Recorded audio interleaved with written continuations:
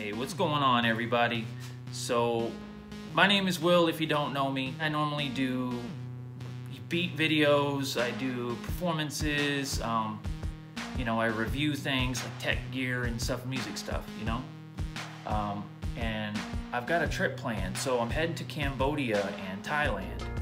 Um, I'm gonna be doing some music while I'm there, and I'm trying to think of how I can make it interactive and bring some sort of collaboration type uh, experience to this because I think it would be awesome to be able to share this experience in some way um, with people on YouTube or you know people that I know personally.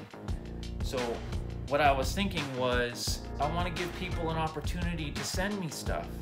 Send me a drum track. Um, you know, send me some four bar, eight bar uh, synthesizer tracks. Um, and what I'll do is I'll integrate these into this guy. So what I'll do is I'll actually make a couple sample tracks when your piece of audio that you send me, vocals, um, just even send me something where you're you're saying something or I don't even care. When your stuff comes in the video, I'll send you a shout out at the bottom of the screen to give you credit for the audio that you sent me. This is Angkor Wat. This is in a temple, you know, in an ancient ruin. And with my deluge, it's a beast. So I can load in and I can play stuff on top of it. Um, I can use your audio within a real time performance track.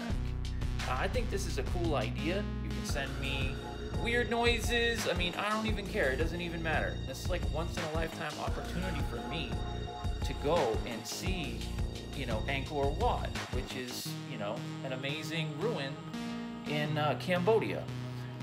Um, so I'll be in Bangkok and I'll be in Phuket, uh, Thailand. So send me some stuff.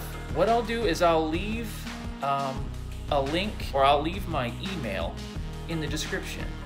Um, or you can leave a comment and I'll hit you back. You can send stuff to me over Google Drive or any other format that you want. I just wanted to put that out there. It sounded like a cool idea to me. All right, guys. See you later. Peace.